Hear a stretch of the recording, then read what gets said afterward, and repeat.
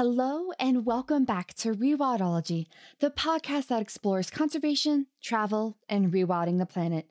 I'm your host, Brooke Mitchell Norman, conservation biologist and adventure traveler. It has been so unbelievably cool that this tiny show has been around long enough to bring back former guests onto the show to share all of their awesome updates from the past year and a half. Yes, today we are sitting down with one of Rewildology's first guests, Daniella Chusyd, PhD, to discuss some pretty big professional and personal updates that has happened since we last sat down. If you have time, I recommend going back into the archives and listening to episodes 14 and 15 called Turning Passion into Research Elephants and Human Health before listening to today's episode. Or if you're like, Brooke, look, I'm already here and I don't feel like scrolling through 90 episodes, then keep listening because I don't blame you, my friends. As a quick recap, Daniella is an assistant professor at Indiana University in the Department of Environmental and Occupational Health, and she's doing wicked cool research studying the links between trauma, mental health, and aging in African elephants, and how these effects help us understand our own physiology. Daniella shares several updates, including her promotion to assistant professor from postdoc researcher, how her studies in Zambia, Uganda, and the Congo are going for savanna and forest elephants, and one really big personal update that she and I weren't able to discuss in her first interview. I'm not going to spoil it here and let you hear the story straight from Daniella. But really quickly, before we dive into the episode, I have two announcements. First, I wanted to personally thank all of you that bought a piece of rhino and or Rewildology swag during the rhino conservation campaign. Combined, we raised over $450 for conservation, which will be donated to the Katie Adamson Conservation Fund and to Rocky Mountain Wild as a sponsorship for the Picos Prairies and Climate Crisis Photography exhibit in Boulder, Colorado. Additionally, we had some travelers book a safari to see the rhinos at Mvelo in Zimbabwe. Seriously, I am so moved by your willingness to join a great cause and save our chubby unicorns. It helps that the shirts are really cool, I must admit. Second, Rewildology's 100th episode is coming up, which is wild, and I want you to be a part of the show.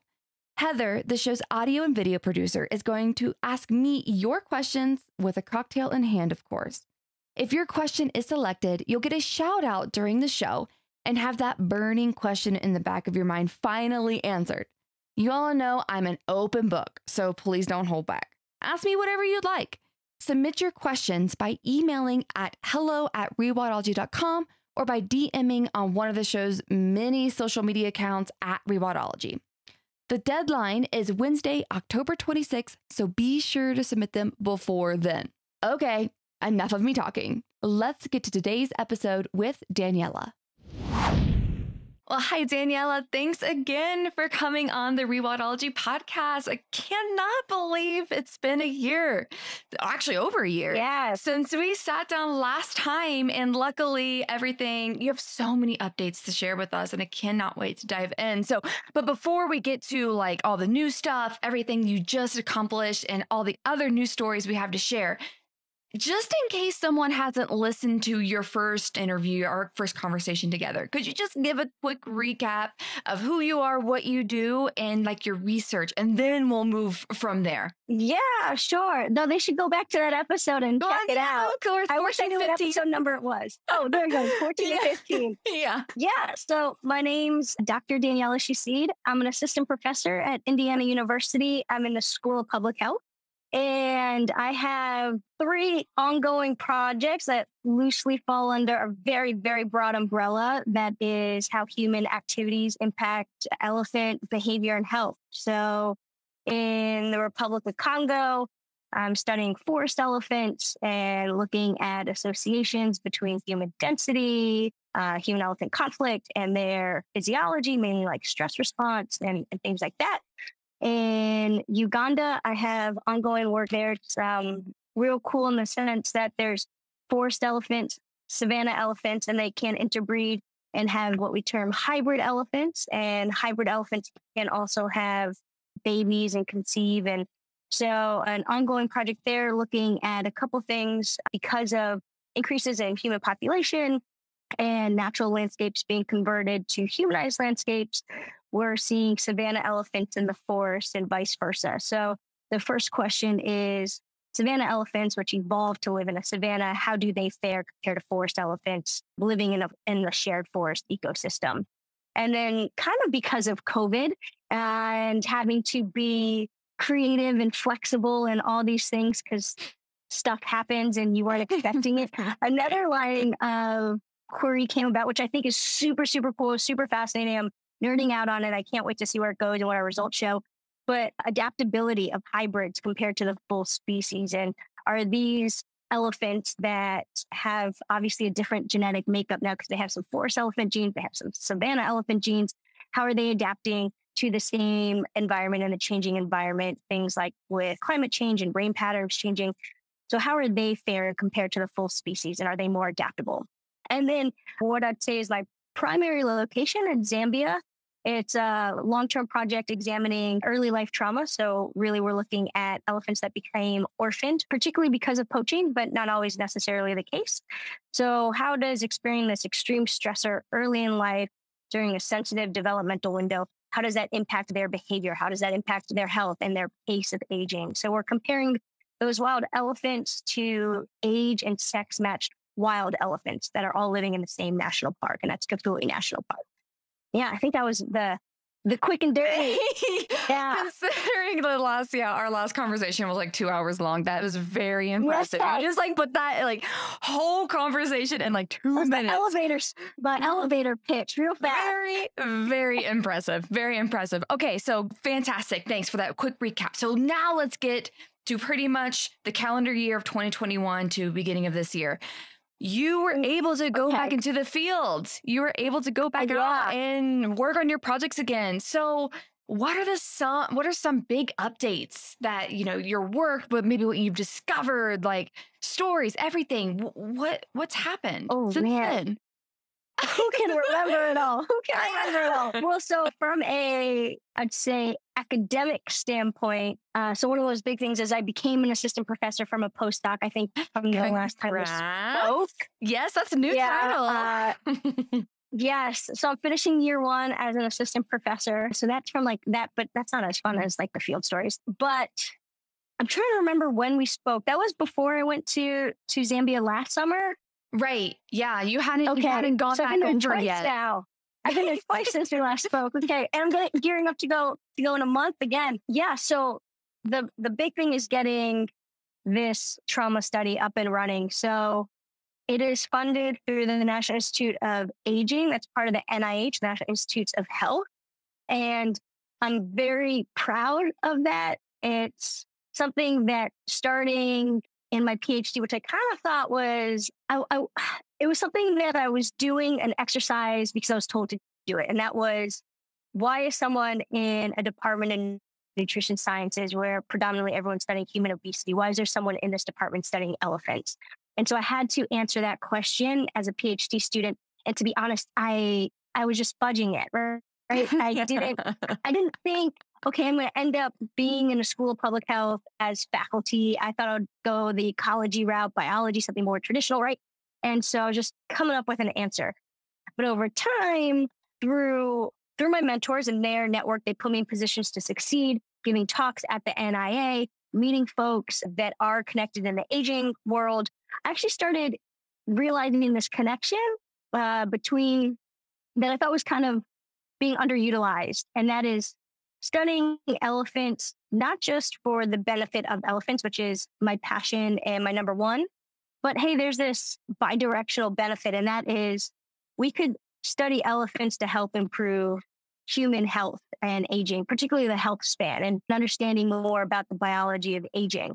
And at the beginning of my career, and when I was starting to study elephants, I got all this pushback and not a lot of love, let's say. Mm. And so this has been a culmination of several years of me pushing on these walls, pushing these walls down. And to have this project funded, it's a, a K01 mechanism and it's a five year grant that's from the NIA was very gratifying and really kind of cemented hey, all this work you're doing and and a lot of people saying this is crazy or this doesn't make sense or why this, you know, why elephant, blah, blah, you know, is one of those that was just like, yeah, cool, I got it. I got it. yeah, that was that was really like just personally a big a big moment for me and i found out that funding this jan this past january officially it was awarded so last year though we started the project as a pilot project and then this year I was there starting to expand it and run and get it running. So we're doing a lot of cool things. This past year we collared six wild elephants and that allows me to follow them for the next few years, collect repeated samples from the same elephants. And now in October, I'll collar four more. We're doing cool things like these cognitive tasks where, and everything I'm talking about, it's not just orphan elephants, it's orphan elephants and wild elephants.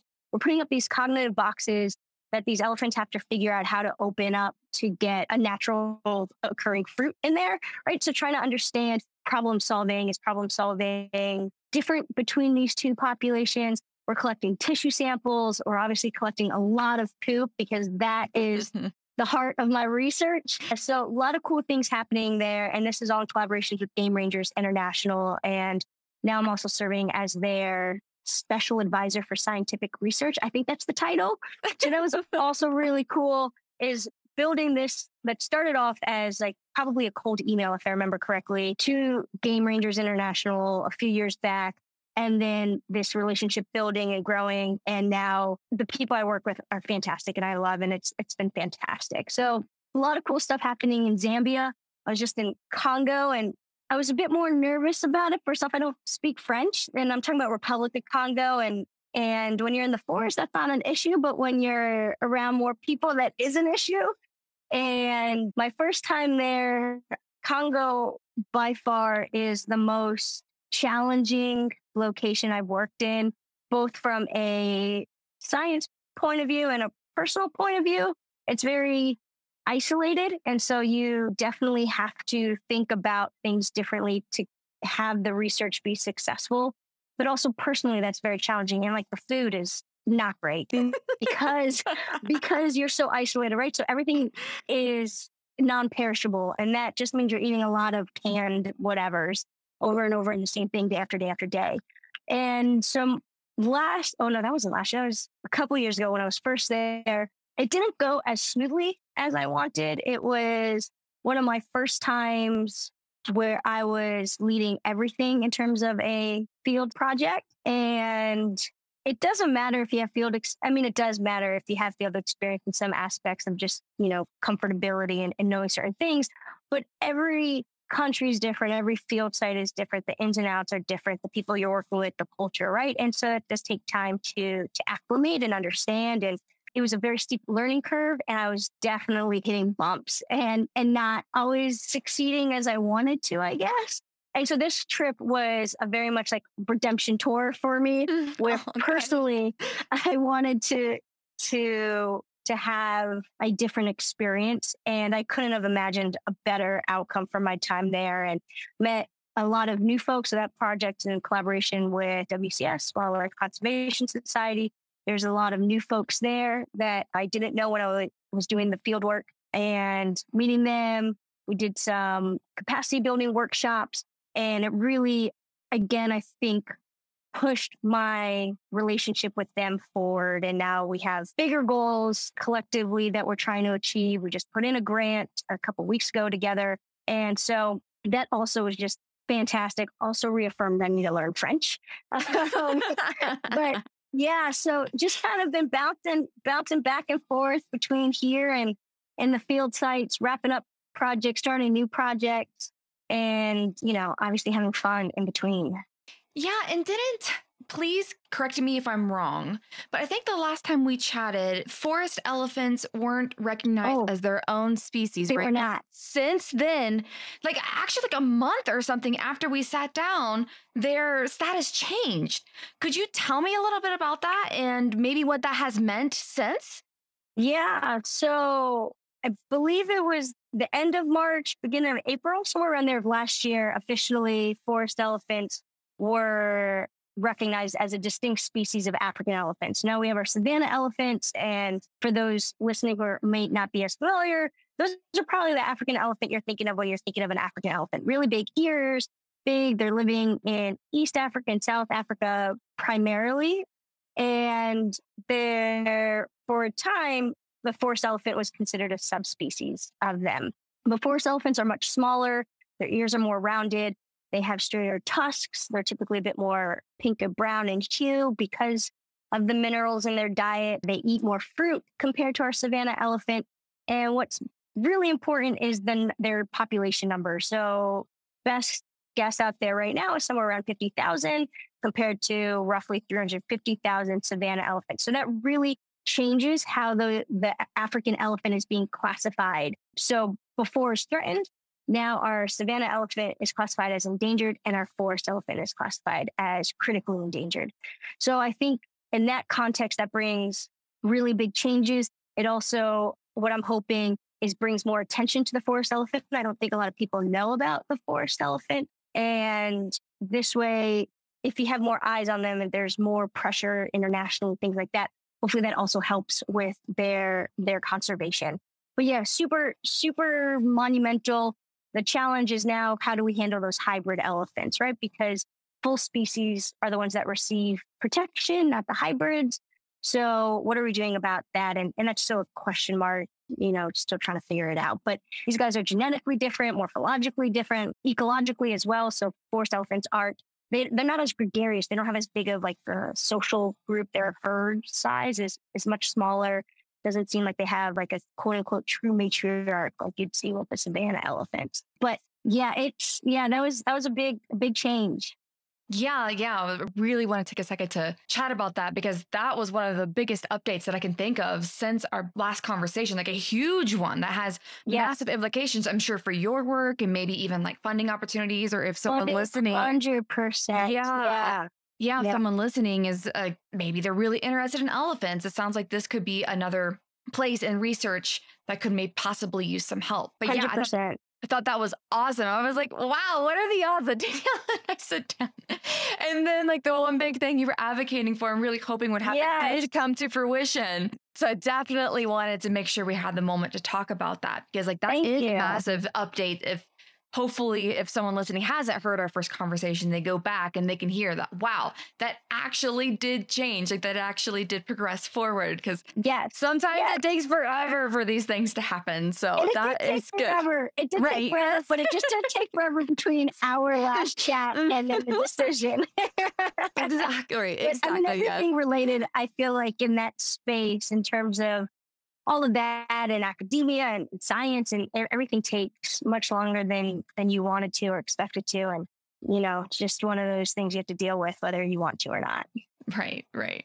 So yeah. let's go back to zambia. When we were oh, chatting last and catching up you told me some crazy stories about like these elephant collaring experiences like going out and collaring them like share some of these stories with people listening. It oh. sounded wild. Yeah. Oh my goodness. Oh my goodness. So i was really nervous. I'm a i'm a talker. I, oh. i'm chatty all the time. I could talk anybody's ear off. And we're doing like little videos and capturing every aspect right? So we could put something together and this this and this. And i was asked how are you feeling right now? And i had zero words because I was so nervous. So we were, we collared actually on my birthday was day one. So we could talk about that too because it was fantastic uh, yes, being on my birthday.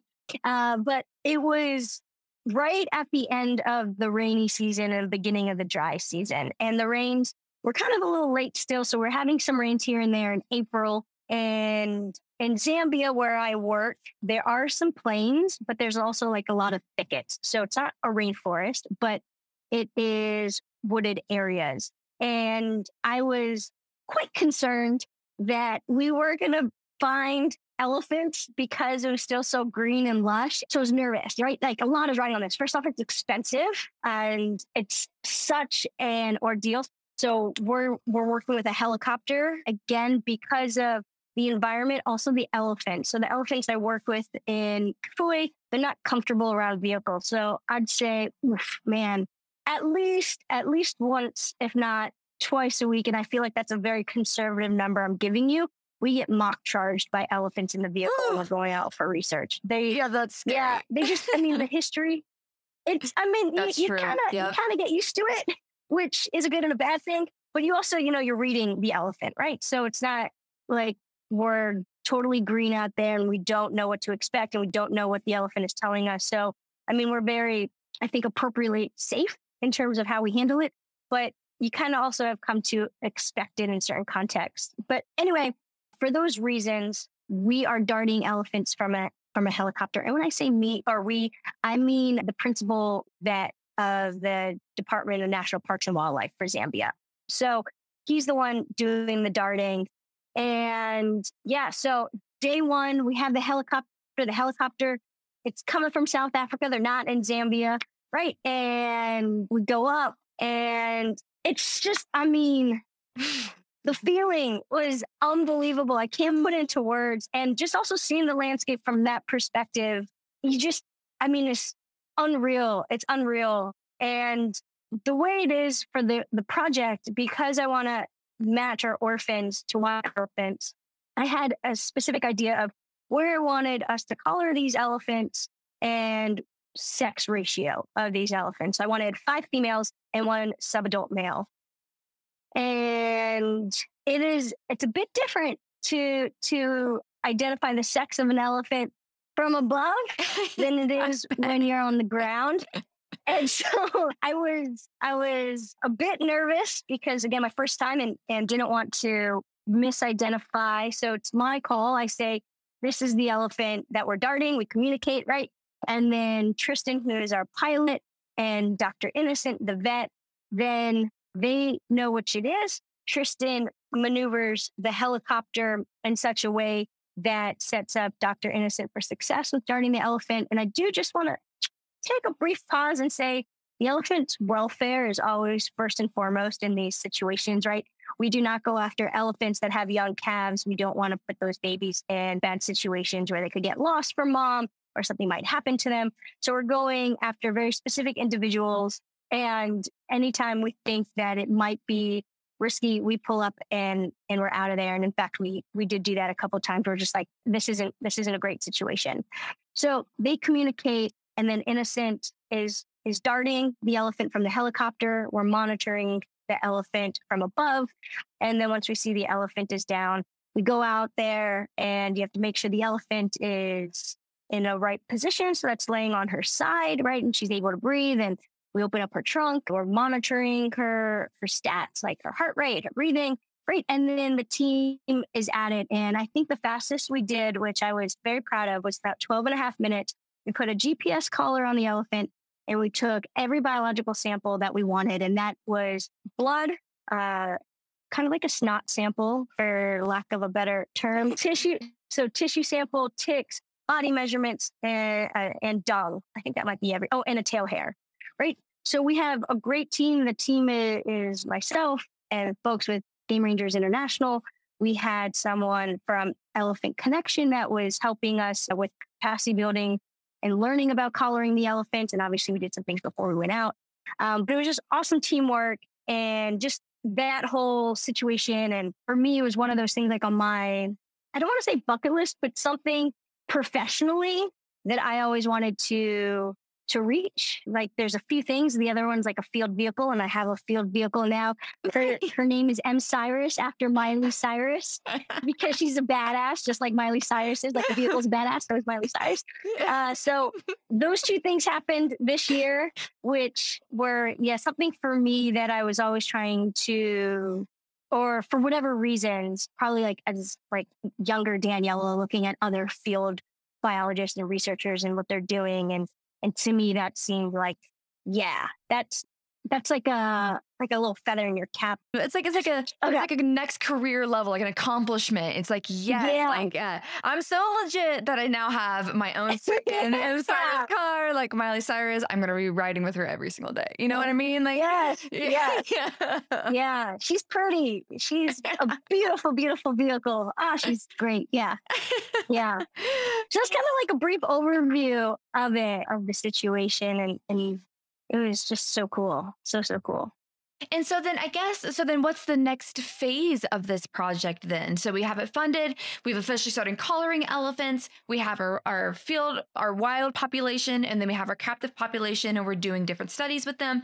So, and I know you said that it's going to be funded for five years. Do you think it'll be done in five years, or what's the next phase of this? How do you start? Yeah, you know, the da- data collection stuff. Like, I guess what's right. phase two or three or four or whatever. Yeah, awesome. So the yeah, so there's funding, but it's it's funding for five years, but it actually doesn't fund the entirety of everything we're doing. You know, field work is, is expensive, and so that there's continuing grant writing for it to continue it. The goal is long term, not just five years, but that we're continuing it out, right? We don't want just a snapshot of what's going on with these elephants. I want to know intimately how environment is relating to them on the long term, seasonal impacts, how they are progressing past this trauma, this stressor that they experience. How does it impact social networks? How does then their social networks also impact back on them, right? So there's so many really cool questions. I was having lunch today with a colleague of mine. And we are even just talking about mm, like how stress reduces the complexity of your behaviors and trying to untangle some of those using this type of population and and so there's so much potential and I, I love the project i love the people i work with it's i think really set up for success. So we have started data collection so immediately after we got those collars on we started to track the wild elephants. We needed to figure out exactly who's in the herd what are the herd compositions of the elephants we've collared what and creating a database for them. So we want to be able to identify those elephants, right? So it's really important that I know when we collect this dung sample, it's coming from this specific elephant and it's a female and she is 10 years old. And now this is her elephant ID, that's her name. And so each herd has a different category that their names are kind of falling under. But basically, getting laying the foundation to make sure that repeated samples from the same individual is going to be possible over the long term. We want to get these elephants familiar with our vehicle. So M Cyrus, she has fabric on her mirrors that smell like lavender. So every day, lavender, like essential oil, is put on there so that these elephants start associating this smell with our vehicle and realize, hey, we're not hurting you. There's no poaching happening here. There's no hunting happening here. It's all good. So they don't charge us, they don't run away, and we're able to collect our data. So we've got that going on. We're having them exposed to these problem solving games. We need to do some tissue collection with some biopsy darting. That will happen in October. So we're really starting to build for each individual a database of different biological samples that is going to give us a big picture of what's going on with that elephant, both internally and what we can see their behaviors and, and their size and, and all of that how they're interacting. Yeah. So I'm so curious. So it makes sense for the orphan and the captive elephants to do these like cognitive figuring out experiments. How do you do that with wild elephants? How do you present it to them and like see oh, like what's that? Yes. okay, yeah. Just, no, um, quite. So I have a collaborator in the project, Josh Plotnik, and he has used this game with Asian. So he does primarily work with Asian elephants in Thailand. And so I reached out to him. I said, "Hey, this is my idea. You think this would this is going to work?" And I always say yes. Yes, it's going to work as well. Uh, nothing ever works as it's planned, though. So you got to be right. creative. You got to be persistent. You got to come up with some cool strategies to to circumvent these smart animals uh, and big and strong. So, but he does it with adults. So these these boxes, we're not just welding them. Like a, a specific company is printing them with machines and this and to make sure that they're elephant proof, but a little bit more sturdy than if you were just to weld it yourself. And they're attached to a tree. And so for him, with wild elephants that are adults, it's no issue because you put it up high enough, they can't step on it. And it's on there tight enough, they can't rip it off with their trunk, like they can't get their trunk in there. But I'm interested in subadults and juveniles and infants, which means that these boxes have to be height accessible to some of these smaller elephants. Mm-hmm. So we haven't started it yet. And so we'll start in October when I'm there. But the idea is that we're having two stations set up, and each station has two boxes one box that's higher up, one box that is lower. Each station has camera traps set up on, on top and from the sides because we also don't want to be there to influence any behaviors, right? And so uh, we have already scouted some locations we want to put them in, and we're hitting known elephant highways. Just like we know these elephants come through here, they're going to pass them, pass it by. So put them up, put up the camera traps, wait for the elephants to find out that they're there, and then hope, really hope that the adults are letting the subadults and the juveniles and the infants interact with the boxes that are lower to the ground and that nobody's going to step on the lower boxes. Those are all my hopes and dreams. I'll let you know how, I'll let you know how it goes, though. that is a lot of hoping. That is a lot of hoping and a lot of dreaming. I already know it's not going. It's not going to work as I just described it to you. So we'll see how it goes, and then we'll workshop it, and and hopefully we'll get some of it to work. The downside of, of that part is it. We'll try to put it in because with the GPS collars, we see where these elephants are, right? So we'll try to put it in places where we know certain herds are and hope that our herd of interest will be going through. But the truth of it is, is it's likely not going to be them. And so it's just going to be different analyses, statistical analyses that we'll do. It, it won't be this is tied to this elephant and we know their stress levels, we know their parasite load, we know their dietary stress, like all that type of stuff. It won't be linked necessarily back to that. But you know, that's what happens when when you work in, in the field you got you got to be more flexible. right. Yeah, you yeah. pretty much just answered all of my questions because those are like last little things and and having worked with elephants and being in Africa and oh. seeing wild elephants, I'm just like, how you going to do that? But that's not, I mean, that's that's a really good experiment design. No matter what, with those camera traps there, you're going to capture something cool and interact. We'll capture something we'll capture something. Something's going to happen. Exactly. it might not be the question I was originally posing. Right. That's also the beauty of science. It can give me something new that I wasn't expecting. Right. And then there's a whole new line of, of research. So, you know, we just we just see what we get. yeah. Exactly. And of course, then we'll have to do another podcast. It could be like, okay, so you all know that story that I told you about. That's right. I'll show you some videos. Yes. Oh my yes. god, that would be fantastic. Oh, we had some actual yeah. videos too. Good videos. yeah. Hopefully uh, the elephants show up and, yeah. and they show up and show out for those videos. Oh, that would be fantastic and just so fun to share yeah. too in so many different platforms. Oh my god, that'd be amazing. Oh, well, great. Awesome. Um, so slight tangent Wait, go ahead. Can I go on a tangent real quick? I don't know if it's gonna gross or not. Okay. So I was just down in Orlando and I was giving a presentation to the Orlando Pride players. And in it, I was showing them about the collaring, and we have, you know, all this GoPro footage, and I was showing them different samples we collect. And, you know, to collect a dung sample, when the elephant is knocked down, right, you're getting personal with the elephant, and you have to do it rectally. And so we were just talking about videos. And I shared this video, and I was like, "Oh man, this is this is gonna be fantastic!" And oh, the reaction, the reaction I got I was like, "Oh, oh man, is that your hand? Is that your hand?" And then I said, "Who wants the shitty job?" And nobody, nobody laughed at my pun, which I really appreciated. But nobody put their hand up. Nobody wanted to do it. I was like, seriously, not one person? It's not that. I mean, okay, like you're wearing a glove and stuff but anyway, it made me think of sharing videos and then the responses you get from people who might not necessarily be a conservationist or a biologist or like an outdoorsy person. The reactions really, really veer from your expectations, I guess, or at least my expectations. I was like, oh, this is so cool. And everyone's like, oh, that's gross. yes, like you're literally. Anyway, that's my friend. My friend was funny. Oh, so funny. Oh my gosh. I mean, I'm laughing hysterically. yeah. Yes. Yeah. Yeah. Oh, that was I love tangents so, like that. You can share those at any time. I'll show you I'll show you the video later. okay. That's There's multiple. Yeah.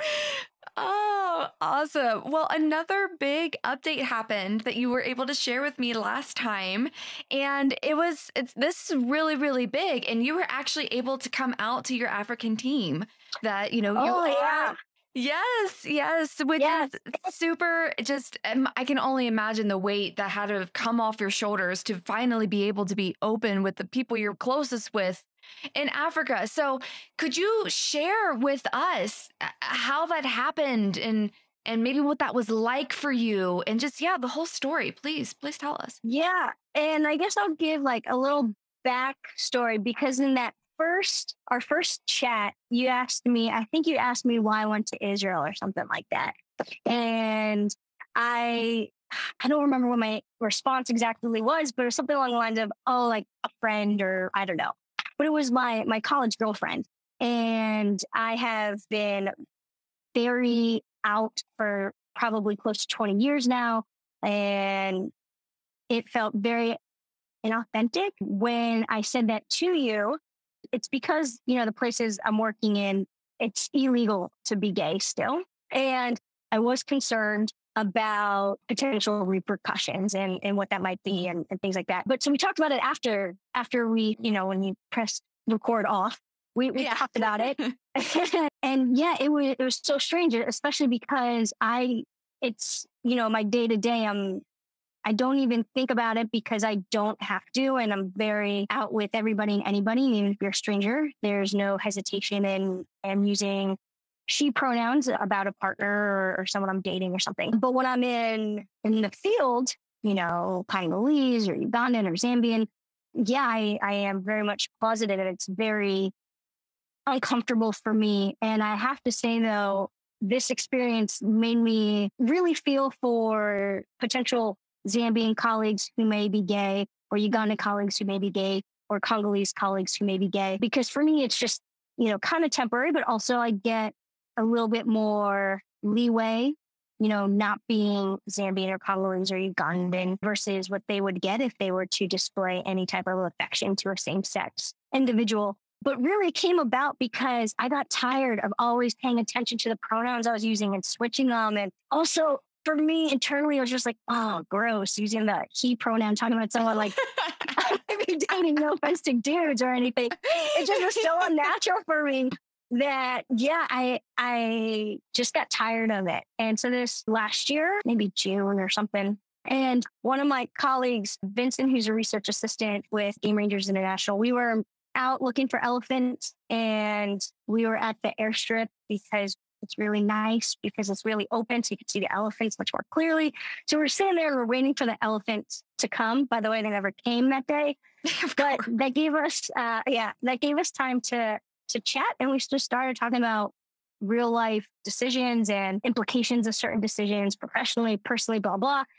And I was just like, ah, screw it. And I talked about, you know, women and blah, blah, and it was all good and well. And then maybe a couple days later, I was with another one of my colleagues, Connie, who's a research assistant for Game Rangers. And we were talking about something, and I said pretty much a very similar thing to her. And her response was slightly different I mean, nothing bad on her side. She was, you know, gosh, I hope they don't mind. I just called out, called them out with their responses. Mm-hmm. but she was, she was just like, not a problem for me, but you know, you just need to be aware of who who you do say it to. Mm. And so then mm-hmm. after that, like the core folks of who I was working with on a day to day, it just kind of ended up happening. We are out and it was me, Vincent, and, and Webster.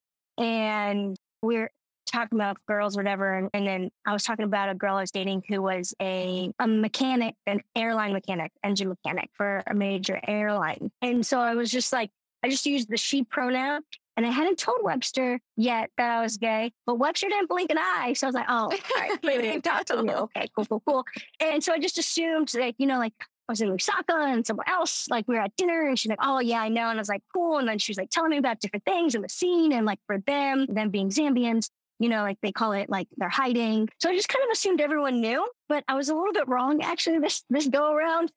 so then this time when I was back, because I assumed everybody already knew, I just was talking to everybody as if they did already know. And so like this woman who I didn't know last year, we're talking and I'm just using the she pronouns. And I mean, she didn't bat an eye, and I honestly don't know if she knew or didn't know, but that's just how it was. And then one of the drivers, we we're in downtown Lusaka awful traffic. And these two guys came and hit the hood of the car. And I was like, oh, I think I try to tell you something. They rolled down the window and then Nyanja, one of their local languages, they had a little brief interaction and window goes up and he's like, oh, he told me to tell you that you should marry him. And I started laughing.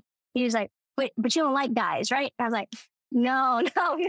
He's like, and he uses the word affairs. He's like, so you only have affairs with women? And I said, yes. And I have to say, he's probably the one that has asked me most of the personal questions about it. And I think that's for the most part. And, and maybe like, you know, from a cultural and trying to be polite and not pry. But he was just asking, you know, trying to understand and and I appreciate it. It, made me laugh inside. I obviously didn't laugh outside because it was a very genuine, sweet moment. And I didn't want to make him feel badly, but you know, like he asked me, "Oh, is it because you're always working out with guys? You only work with guys? Is that why you like girls?" I was like, "Ah, oh, no." I was like, "I think I've been liking women way longer than starting to work out here with just guys." Like, no, no, no, no, no. And so it it was then one of these things where we had conversations. I've talked to Webster, and Webster actually said he didn't know when we were in the truck and I had that story. He just already assumed that I was, and he was like, you know, in in my conversations with different Zambian colleagues, I do get different perceptions on being gay in Zambia. So, you know, for some, they think the tide is turning and people are are like, yeah, this this dude's gay or this, you know, whatever, and, and it's not that big of a deal. And then others are like, definitely no, don't you can't do anything in public and you have to be you know closeted about it. And so there's there's a bit of different perceptions from the people i've talked to about it all. I'm not out with with my other colleagues in, in congo or in uganda in that context but i spend most of my time in zambia and yeah these people have become family to me and I, and I think if we're going to be in order to be that close and to have that type of relationship you have to be genuine and authentic. And now me and the guys like when we're out looking for the elephants and stuff. We have so many fun conversations because now it's just like like i'm just like one of the dudes. So we talk about all these things. We talk about tinder there. We talk about i mean you name that topic and we're probably covering it. And they just kind of like see me as a dude like one of the guys there's like, you know, you talk like a guy and you act like a guy. I think by allowing them into that side of me, and I have to say, everyone has been so lovely and, and great with it. And, and they're all, yeah, I mean, they, I don't want to say they don't care, but yeah, it's just like, it's just, it is what it is. And just the thing is, you know, you have to be aware of where you are, right? So these are folks that know me, that are exposed to different types of perceptions, ideas, cultures, blah, blah, blah.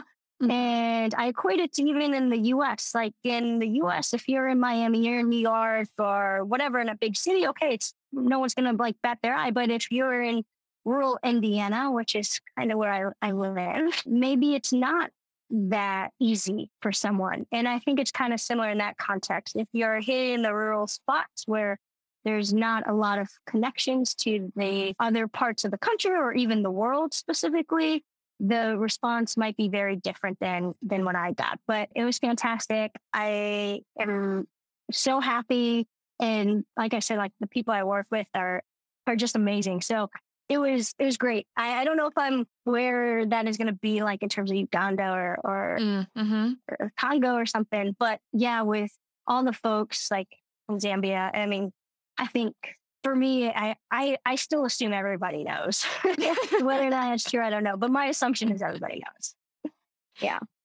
Were you scared to tell that person in the car? Oh, yeah. First? I felt yeah. like I was a 16 year old. Like I felt like I was back as like a little kid and saying these sentences that were so hard to form because I haven't had to say them in like 20 years. Like, oh, I'm gay. Oh, I like girls. Like, oh my goodness. I haven't had to say anything like that in so long, right? Like, first off, I feel like in the States, I'm a walking billboard for for being gay so i feel like i don't even have to say it but it's also conversations i haven't had in such a long time that are like they're just not natural because i'm not having it regularly or right. or recently. Yeah.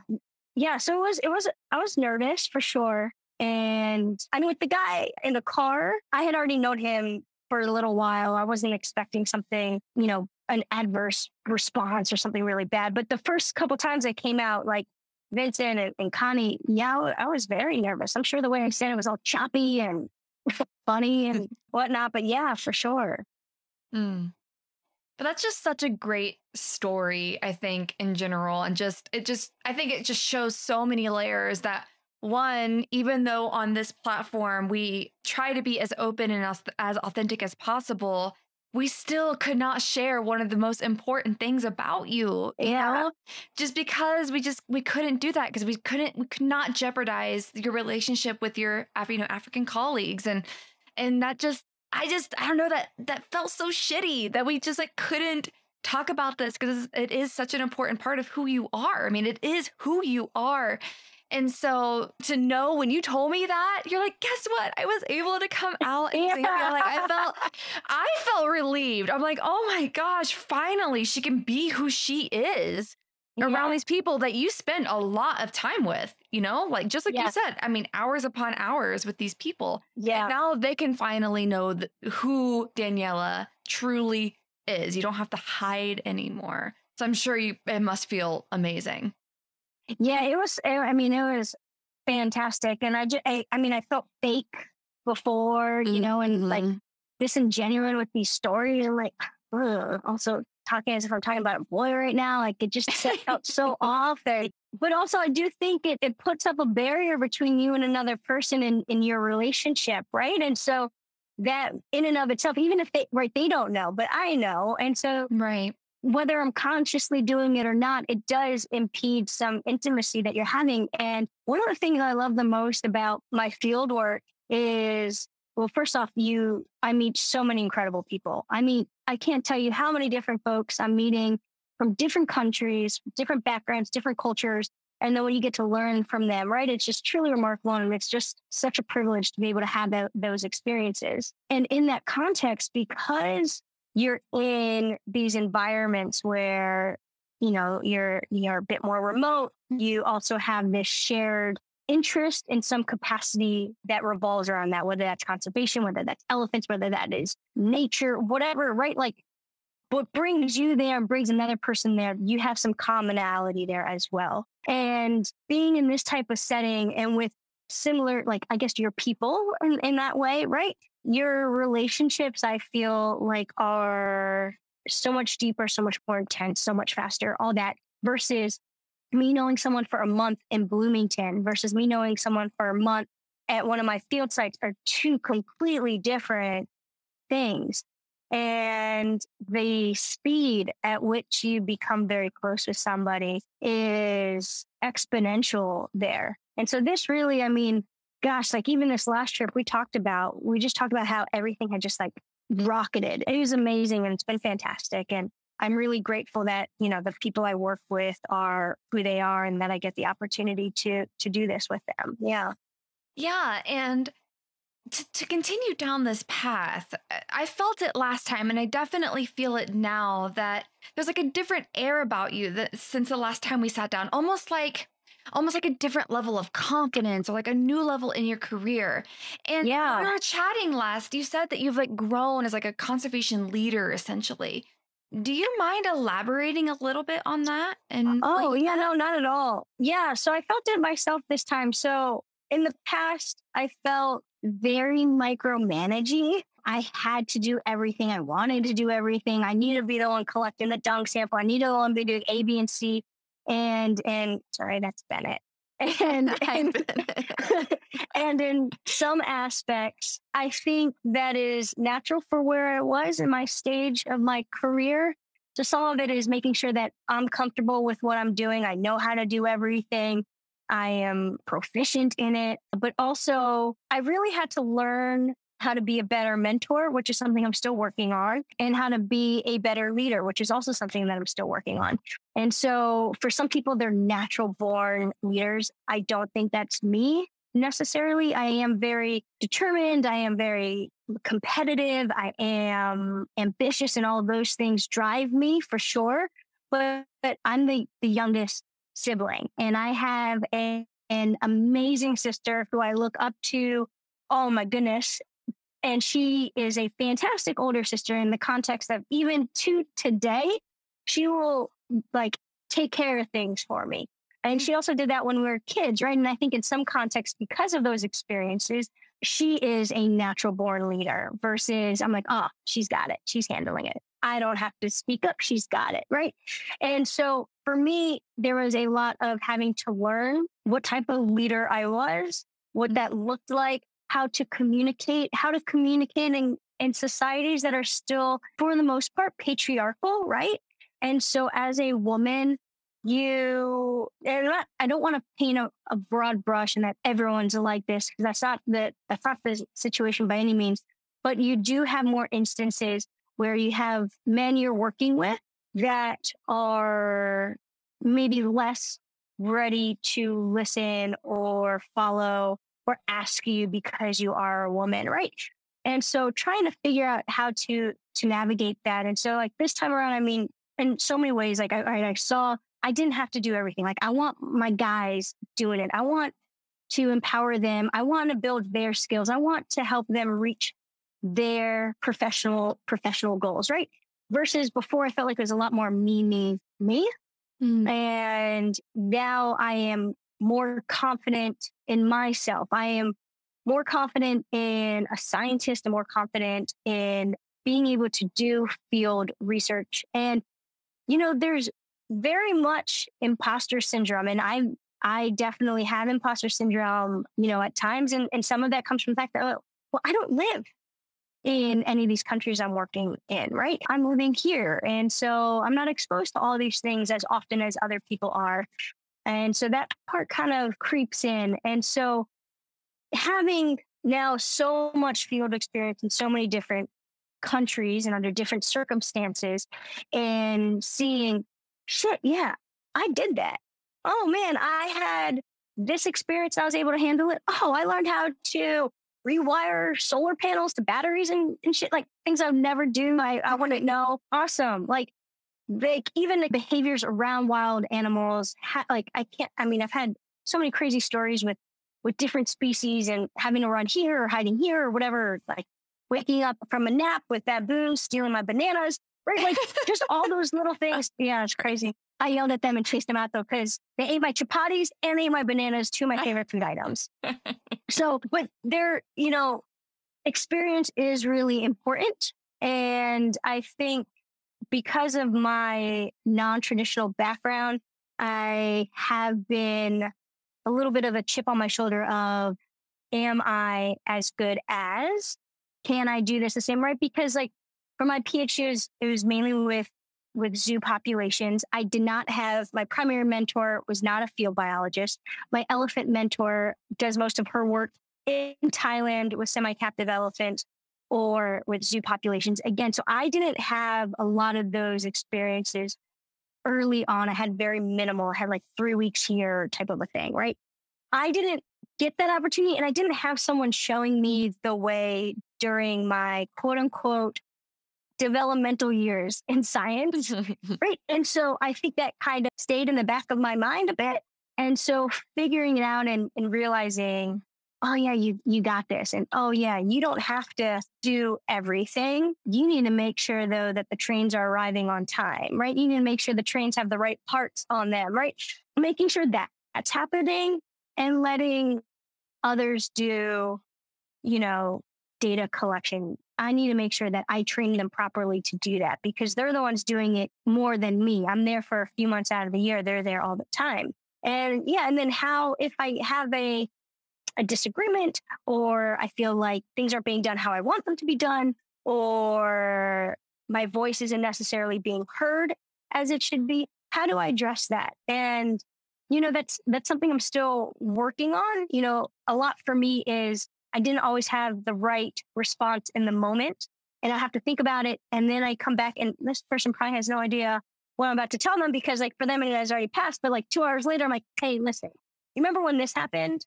Well, all right, this is what should have happened and, and you know, and kind of go through it. So for sure it's been a transformative period and I, I could feel it in myself and I could see it in my in my actions and you know hoping that obviously I, am still developing and, and, and trying to get better and better. But I do think it's important to hear for young people or people interested in, in field work or at the beginning, it's okay not to know. It's okay to, to feel unsure, right? And everyone has been there. And like I said before, like Congo was so rough at the beginning and it was awesome because the woman I started working with in Congo, she now works for an NGO in Zambia.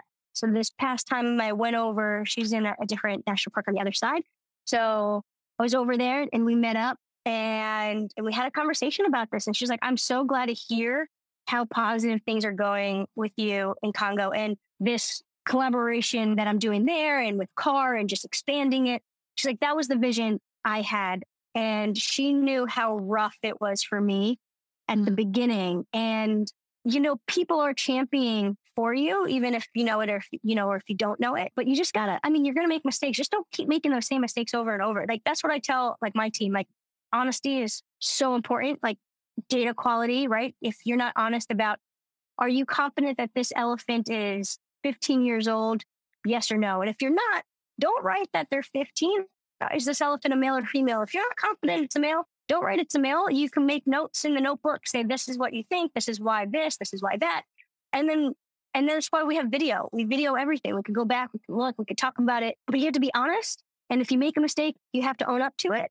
And that's cool because you're going to learn from it and we're just not going to do it again. Right. And so I think that's important for for students to hear because no nobody's perfect and no one expects you to know what you're doing from from the jump, right? So it's a process. Yeah, I think that's pretty applicable to everybody. I know that you're wrapped in your new assistant professor professorship. Professor, yeah. Blah, blah, blah, that was yeah, you got it. You got it. mouthful. Wow. I messed up a whole bunch of words already. Don't worry. but yeah, I mean, I felt exactly the same way starting, you know, this whole platform and just any any new endeavor that we get in, like you will figure it out. Just keep like just mm-hmm. like you said, just don't make the same mistakes. It's okay if you make it the first time, especially if you own yeah. up to it and if you have to apologize, that's that's fine. People are okay with that. It's it's yeah, we all have our journeys to come on, but I I really wanted to take a second to you're different in a very good way. Not that anything before Thank was you. bad. No, I get it. but I, I can tell, I can see how much you've grown in just this short amount of time since the last time we sat down and, and and calling that out and like, what have you learned? What have you experienced? And that is great advice for anyone listening about wherever they are in their career or whatever they're doing. It doesn't matter what you're doing right now. But yeah, so Thank if anybody yeah. does want to possibly maybe even connect with you, maybe chat, maybe they oh, absolutely that they might want to discuss with you or a similar story or just watch. I mean, your your videos crack me up. Like when you're like collecting dung in the field, I was laughing hysterically when I see you on Instagram pop up. I'm like, oh, what is Daniella doing now? Yes. But yeah, yeah. please like shout out. How can people connect with you? Everything. Yeah, so I mainly operate on Instagram, though I have it feeds to my Twitter account and Facebook. And on Instagram, my handle is the underscore elephantologist. Um, I'm trying to really make that a word. People who study primates are primatologists. I study elephants, ergo, I'm an elephantologist. So yeah, the underscore elephantologist. I'm also, you can email me, and my last name is a little tricky. So I'd say probably you can just go to IU, Indiana University School of Public Health. I'm in environmental occupational health. You can find my email there, but it's my first initial last name, Seed at iu.edu. Happy to, you know, to talk to, you know, to anyone because really, right, like that is, I mean, I love what I do. I, I feel like I'm so lucky that I get to have these experiences. I get paid to learn. I get paid to think. I get paid to be creative. And then I get paid to to have how many weeks and how many months in Congo or in Uganda or in Zambia.